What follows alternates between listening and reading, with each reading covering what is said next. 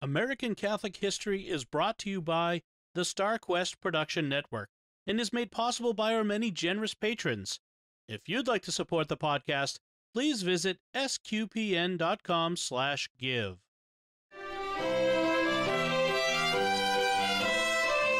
Hello, and welcome to American Catholic History, sponsored by Beatrix Media, providing writing, digital marketing, website strategy and construction, and search engine optimization services. Visit beatrixmedia.com. Experience your world communicated. If you like American Catholic history, please help others find it by sharing this episode and giving us a five star rating wherever you get your podcasts. I'm Noelle Heaster Crowe. And I'm Tom Crowe. Today, we're talking about a haunting. I mean, it seems appropriate since this episode is being released just before Halloween with all of the costume parties, haunted houses, hayrides, and trick or treating. Yes, but this is a real haunting, which went on for years. And it really seems to have been a full on demonic possession.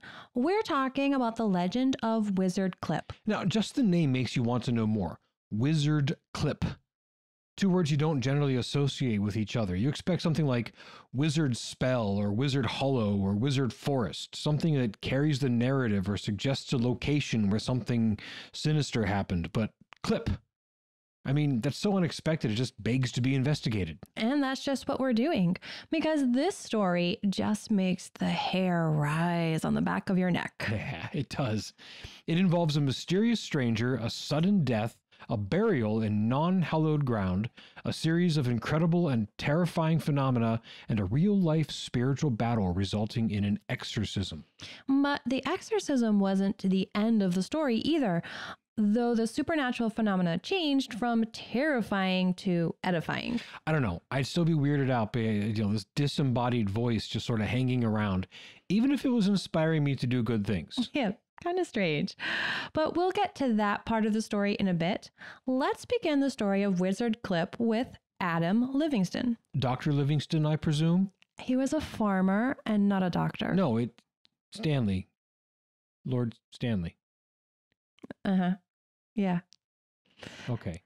Anyhow, so Adam Livingston was a farmer in Pennsylvania in the latter portion of the 1700s. In 1792, he moved his family to a large farm, some 350 acres, in Berkeley County, Virginia. Now, to put this story on the map, literally, the community was known as Smithfield, Virginia at the time. But since the events of today's story took place, the town nearby incorporated as Middleway, Virginia. Jefferson County separated off of Berkeley County, and West Virginia separated from Virginia. So the modern day locale we're talking about is Middleway, Jefferson County, West Virginia. Exactly which means, da da da, we've finally done at least one story about each of the 50 states. West Virginia was the final one. Yes, and if people go to our website, AmericanCatholicHistory.org, they can search by state, seeing all episodes that have something to do with that state. And when I say search by state, I mean we have a map and you can click on the particular state you want to find out about, and it'll pull up all those yep. episodes. It's a really cool feature. Yeah, we try to make things convenient for listeners with and with a, with 119 episodes that we've recorded so far, we've got a lot of great stuff on there. So people should go and check it out. Definitely. But back to Adam Adam Livingston and Wizard Clip. Livingston moved his family to this large farm in 1792. Some accounts of his travails indicate that he had already been beset by strange happenings before he moved to Virginia, but that isn't universally agreed upon. Um, so, can you explain what sort of things? Sure. Like his barn inexplicably caught fire and all of his livestock died. And according to these accounts, some of these things followed him to his new farm in Virginia. But again, the various accounts aren't in agreement on this point. Also, none of the earlier things that were alleged compared uh, to the incredibleness of what happened later. The event that kicked off the truly terrifying part of the Livingston's experience was the visit and death of a stranger in 1794. Now, strangers stopping and asking for lodging was not uncommon at the time. There were few inns, and hospitality was happily extended to anyone who happened to stop by. So the Livingstons were happy to welcome a stranger into their home for a few days. The problem arose when the stranger took ill shortly after arriving. Naturally, he was obliged to remain until he got better. But he didn't get better. In fact, it became apparent that death was approaching. The man summoned Livingston to his bedside and told him that he was Catholic. He implored Livingston to find a priest and bring him to the house to give him last rites. Now, this was a problem for Adam Livingston for a couple of reasons. First, there simply weren't any Catholic priests around. Catholicism had only recently been legalized in Virginia, and no Catholic presence had really established itself in the area as yet. Second, even if there were a Catholic priest nearby, Livingston was a devout Lutheran in an age of great animosity toward Catholicism, so the request would have given him pause regardless. Some accounts say he simply refused the request with prejudice and that he was indignant at the thought of a Catholic priest entering his house. Other accounts are more charitable towards Livingston, saying that he was open to the idea but simply had no idea where to even begin looking for a Catholic priest. Either way, the man died without the benefit of the sacraments, and that night, the major manifestations of some strange things began to occur. As was custom, that evening Livingston hired a man to come and sit in the room with the corpse through the night. As the man settled in, suddenly all of the candles in the room went out.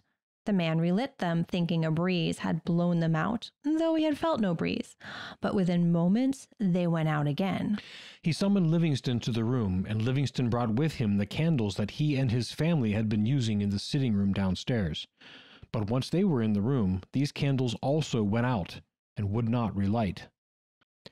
The man bolted from the house, so terrified by the sign.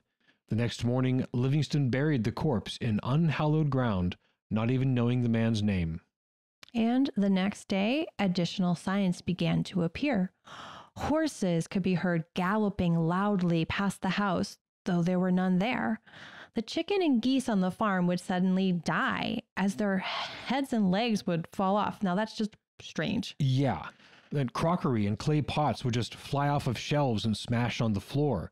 A bag of money, which Livingston had kept in a locked chest, just disappeared.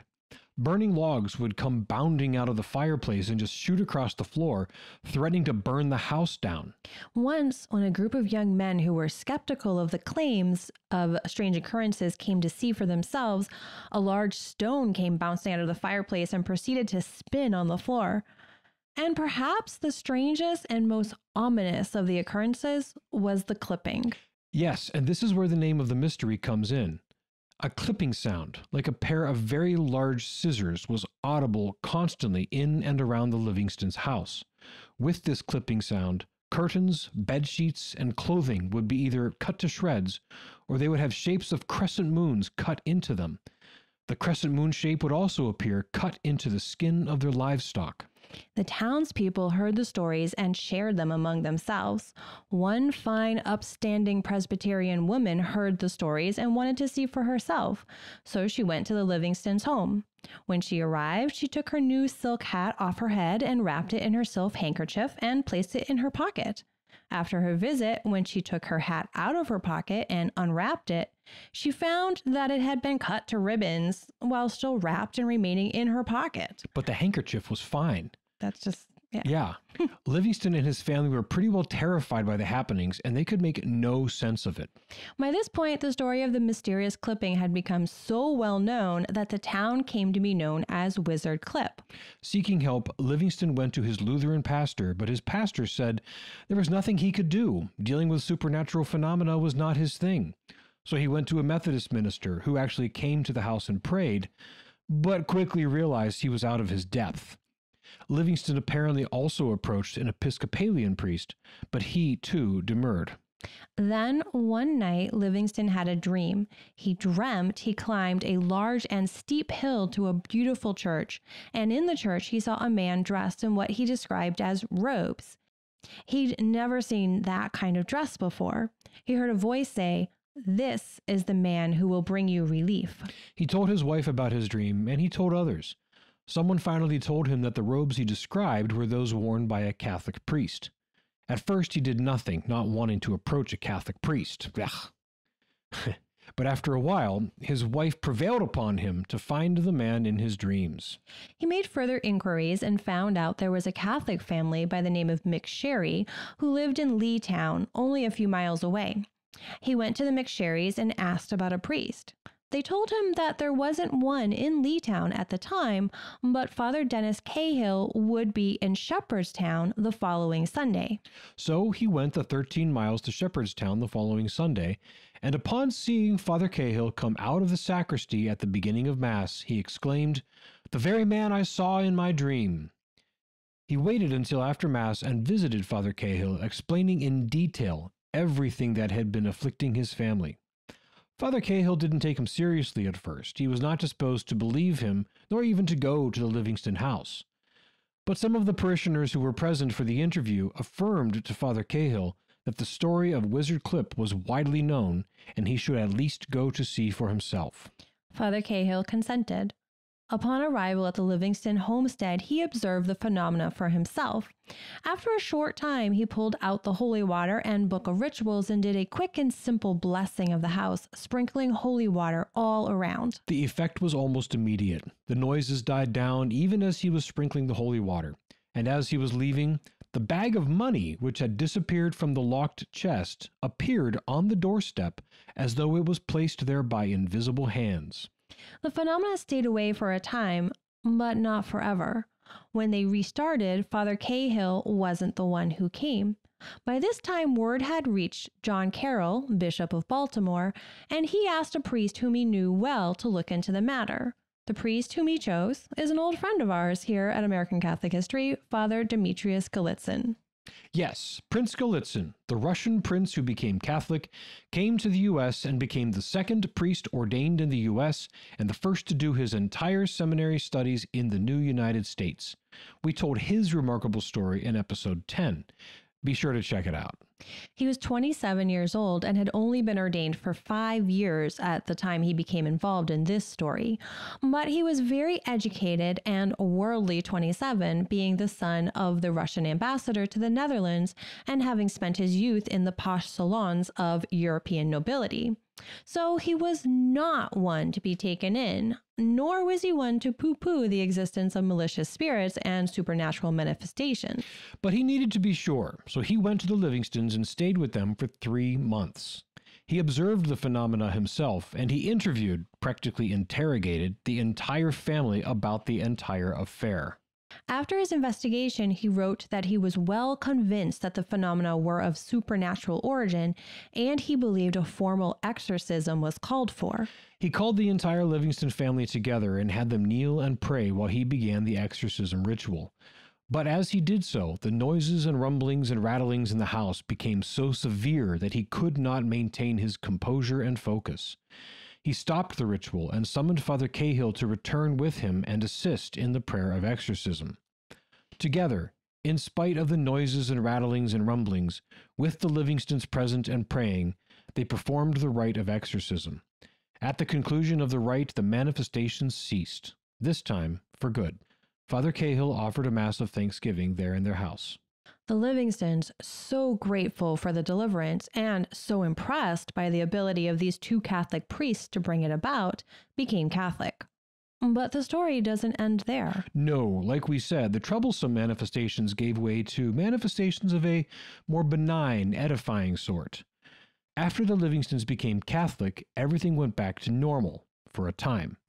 But then one night, Adam Livingston was awakened from sleep by a bright light and a voice. The voice was sweet and consoling. It comforted Livingston and exhorted him to get up and wake his family that they might pray together. The voice led the family in prayer that night and began to instruct them in the truths of the Catholic faith. This instruction was helpful for the whole family because their education in the faith had been nearly non existent. They converted due to the exorcism, not because they were convinced by Catholic arguments. Right. If the Catholic faith could drive away demons, it must be the faith of Christ. Well, yeah, that makes sense. Yeah. so, this new consoling voice became their guide. The voice could be heard by all members of the family and even by visitors. The Livingston children reported that they were able to see the entity who was speaking, but they never really offered a real description. Eh, but based on the exhortations given by the voice, it seems the spirit speaking may have been a soul in purgatory. It may well have been the soul of the stranger who died in their home without the sacraments. Some say it was a priest. Either way, the voice instructed them very clearly on the intentions to pray for individuals who needed prayer, whether living or deceased. One time, this exhortation took a very real form and not just a voice. It seemed that one of the girls thought that souls in purgatory didn't really deserve prayers because, well, probably they could have just helped themselves when they were alive. Suddenly, a voice could be heard screaming for help, and when they asked what the voice needed, it said, Prayers, for we are in excruciating torments. And then a vision of a burning hand appeared and burned its impression on a bed linen in the room. The message was received pray for those in purgatory. Yeah, that would have sent a message to me as well. Yeah. As for the living, Adam Livingston would be directed by the voice to go at all hours of the day and night to the aid of some persons in need, whether they were close to death or just enduring some sort of hardships. He often did not know the people, and the journeys could be great distances, but he went. After the turn of the 19th century, the Livingstons moved back to Pennsylvania. They settled on a farm near Loretto, the town which Father Gallitzin had established as a Catholic haven. The voice, of course, traveled with them. The voice would remain with the family for 17 years, ceasing in about 1814. Adam Livingston would live for another six years, dying in 1820. But before the Livingstons returned to Pennsylvania, Adam Livingston donated 34 acres of his property to the Catholic Church. One explanation given for this gift is that during the exorcism, the possessing spirit said that one of the previous owners of the property had taken possession of it by murdering its rightful owner. Livingston, therefore, guided by the voice, gave over that chunk of property to the church as an atonement for the previous owner's evil deed. The land was given over specifically to be a place where priests could pray and have rest. The property was used in different ways over the years, mostly as a cemetery. In 1923, the diocese built a chapel on the property, which became a place of pilgrimage. In 1978, the property became a retreat center, which it remains to this day. Many have investigated the historical claims about Wizard Clip and how much of the story can be believed at face value. In August of last year, our friend on the StarQuest production network, Jimmy Akin, did an episode of his Mysterious World podcast on Wizard Clip, and he, along with Dom Bettinelli, looked into the accounts and explanations of the mystery. You'd do well to listen to that episode, which we'll link to in our show notes. But the long and short of it is, those involved in the events believed that the various phenomena were of supernatural origin, first demonic, then kindly. Many came to believe in Christ and the Catholic faith because of these events, and the church has a lovely retreat center in the easternmost county of West Virginia, thanks to the strange occurrences at Wizard Clip. You've been listening to American Catholic History, sponsored by Beatrix Media on the StarQuest Production Network. If you've been enjoying our podcast, please help others find it by sharing this episode and by giving us a five star rating and a good review. Be sure to check out our sponsor, Beatrix Media, providing writing, digital marketing, website strategy and construction, and search engine optimization services. Visit beatrixmedia.com. Experience your world communicated. Also, please support the many fine productions of SQPN at sqpn.com/give. To learn more about Wizard Clip, to find previous episodes, or to learn about our upcoming pilgrimages to important and unforgettable Catholic holy sites, please visit americancatholichistory.org. We also love feedback and hearing about great Catholic history sites and stories from all over. You can email us at history at sqpn.com or find us on Facebook at facebook.com slash American Catholic History, on Instagram at ACH underscore podcast, or follow us on Twitter at ACH1513. I'm Noelle Heaster Crowe. And I'm Tom Crowe. Thank you once again for joining us on American Catholic History, sponsored by Beatrix Media and produced by StarQuest.